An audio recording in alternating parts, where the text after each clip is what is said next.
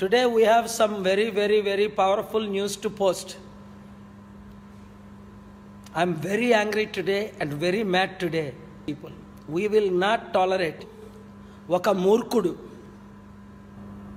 ఏంటి? ఒక దుష్టుడు దుర్మార్గుడు నీచుడు అసహ్యుడు.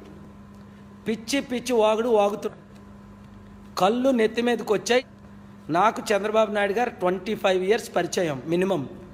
ఆయన హండ్రెడ్ పర్సెంట్ యాక్షన్ తీసుకుంటారు. ఎందుకంటే ఇలాంటి ఆయన టాలరేట్ చేయరు. వాళ్ళ టీం కాల్ చేసి విజయ్తో తప్పైందని చెప్పారట. కానీ ఆయన స్టేట్మెంట్స్ మరలా నేను చూశాను. వారికి కూడా ఇరవై ఒక ఏడు రోజులు టైం డెడ్ లైన్ ఇచ్చాం. ఏడు రోజులు టైం ఇచ్చాం తీసేమని. లేదు అంటే తగిన చర్యలు మనం తీసుకుంటాం. Legal political. ఆ తర్వాత ఆయన మార్పు చెందితే మరలా క్షమిద్దాం. నన్ను తిట్టండి వంద సార్లు వెయ్యి సార్లు ఒకవేళ మీరు అనేక చూసారా ఎన్ని నెగటివ్ మీరు స్టేట్మెంట్ పెట్టినా నేను కోప్పడను. అయితే యేసు ప్రభుని తిడితే సహించను. అమెరికాలో ఒక పాస్టర్ ఖురాన్ బర్నింగ్ చేస్తే సహించలేదు. తప్పని ఆ పాస్టర్ని ఖండించాను రెండు వేల పది సెప్టెంబర్ పది. ఒక క్రైస్తవుడు ఖురాన్ బర్న్ చేయకూడదు ఒక హిందువుడు బైబిల్ బర్న్ చేయకూడదు ఒక ముస్లిం కానీ క్రిస్టియన్ కానీ భగవద్గీతను బర్న్ చేయకూడదు. ఎవరి రిలీజియన్స్కి వాళ్ళకి గౌరవం ఉంటుంది ఎవరి ఫెయిత్ వారికి ఉంటుంది. మీరు ఒకరిని ఒకరు కులాన్ని మతాన్ని తిట్టుకోండి. ఏ కులం మనకు వ్యతిరేకం కాదు ఏ మతం మనకు వ్యతిరేకం కాదు ఏ కుటుంబం మనకు వ్యతిరేకం కాదు ఏ పొలిటికల్ పార్టీ మనకు వ్యతిరేకం కాదు. థ్యాంక్ యూ వెరీ మచ్ ఇది నా మొత్తం కెరియర్లో నేను తీసిన మొట్టమొదటి మెసేజ్ ఓరియంటెడ్ చిత్రం. ఆ సందర్భంగా నేను మిమ్మల్ని పిలిచాను. మీరు ట్రైలర్ ఏమైనా చూసుంటే పోస్టర్లు వగైరా.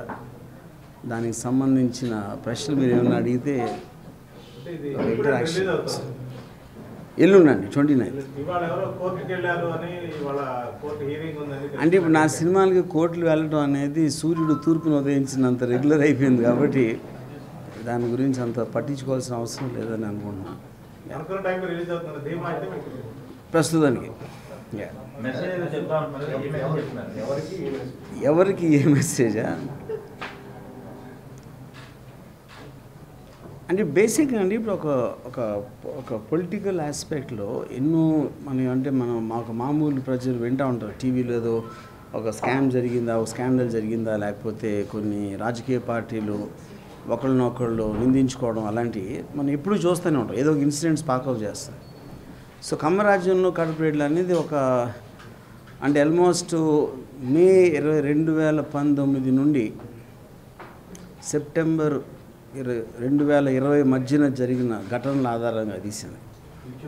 ఫ్యూచర్ అది. అంటే ఇప్పుడు జరగ జరిగినవి జరుగుతున్నాయి జరగబోయి అని ఊహించినది అక్కడ ఐడియా బేసిక్గా అదొక కొంచెం అంటే ఒక ఫన్ లెవెల్లో చేయడం జరిగింది. అంటే ఇప్పుడు మనకి రియల్ లైఫ్లో కూడా అన్ని ఫన్ ఉంటాయని నా ఫీలింగ్ అంటే ఇప్పుడు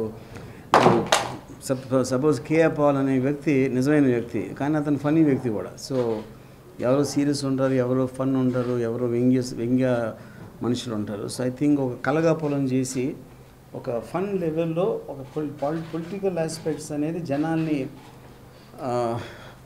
అంటే ఇప్పుడు డ్రాయింగ్ రూమ్లో కూర్చుని డిస్కషన్ చేసి ఫైనల్గా ఎవరికి ఏమీ తెలియదు ఏం జరిగింది అనేది సో దానిని ఒక సెటారికల్ వ్యూతో తీయడం జరిగింది సినిమా.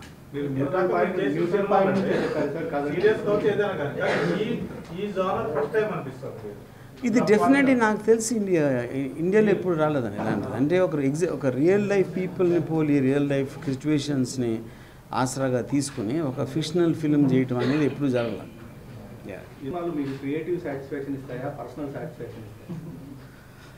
హా, మంచి మంచి క్వశ్చన్ కే పాల్ ఇలాగ మాట్లాడాలంటే మంచి క్వశ్చన్ యాక్చువల్గా అండి అంటే నాకు చిన్నప్పటి నుంచి కొంచెం గెల్లటం ఇష్టం. అది ఆన్సర్ వచ్చేసినట్టు ఉంది.